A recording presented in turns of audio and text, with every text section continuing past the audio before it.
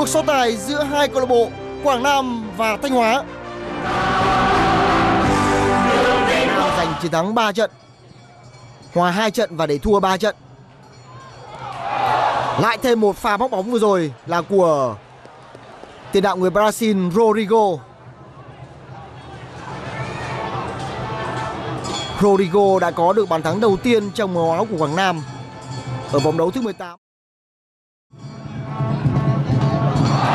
Samson lần này không biệt vị. Dứt điểm không vào. Của người kịp thời trong tình huống này. Chúng ta cùng xem lại pha dứt điểm thứ hai của Hoàng Vũ Samson tuy nhiên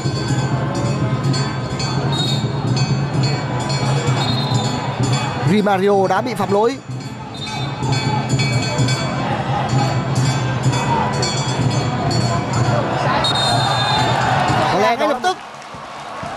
Ngay lập tức Rimario đã bị thẻ đỏ.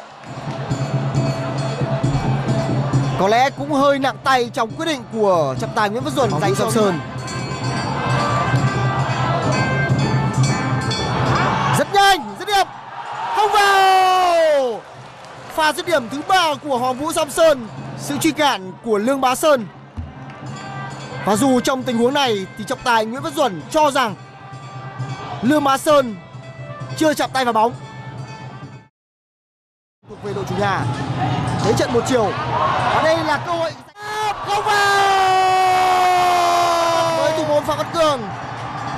Một cơ hội để giúp cho thanh hóa có được thế trận theo ý muốn của mình. Đây là tình huống tấn công với sự có mặt của Gabriel Davis. Đánh đầu không vào! Quảng Nam đang cố gắng đẩy cao tốc độ trong những tình huống tấn công. Đánh đầu Nguyệt! Không vào. Phải mất hai nhịp thì Lương Bá Sơn mới có thể xử lý tốt trong tình huống này. Rất may là Lương Bá Sơn vẫn đang làm tốt. Viết Tú. Rodrigo. Samson đã chiến thắng dứt điểm một không như vậy là phút thứ 74 của trận đấu những nỗ lực của Hoàng Vũ Samson. Bây giờ mới được đền đáp.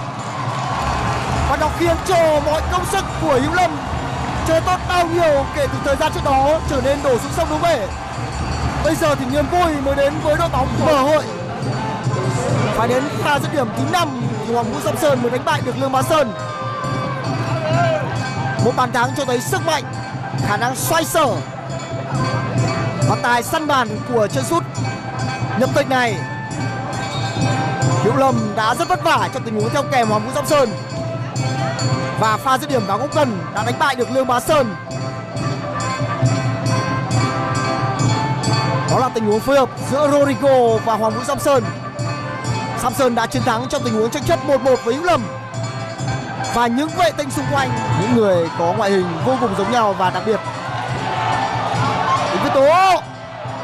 Hoàng Vũ Đinh Thanh Trung, dứt điểm giờ thì Đinh Thanh Trung mới có pha dứt điểm.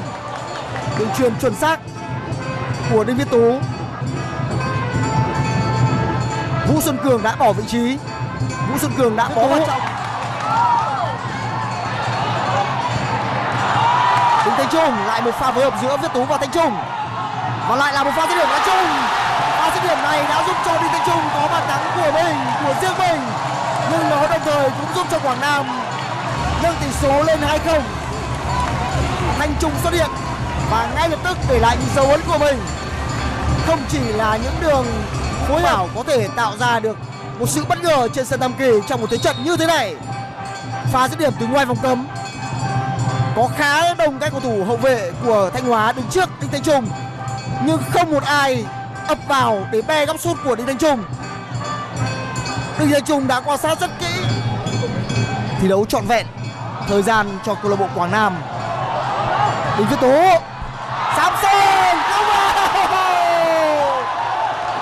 rất có hiểu cho pha xử lý vừa rồi của Hoàng Vũ Sóc Sơn. Không thể thành công của chính mình.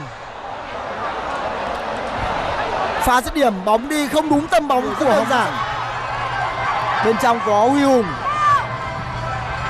Huy Hùng, rất hay. 3 không cho câu lạc bộ một tình huống dứt điểm vô cùng nhạy cảm của cầu thủ mới trở lại sau chấn thương. Nguyễn Huy Hùng. ba không ở những giây bù giờ cuối cùng. Hai nhân tố quan trọng ở hàng tiền vệ của Quảng Nam. Chúng ta xem lại pha dứt điểm. Rất tinh tế và khéo léo của Huy Hùng. Bóng cứ từ từ từ từ lăn trong sự bất lực của Lương Bá Sơn. 3-0 cho Quảng Nam.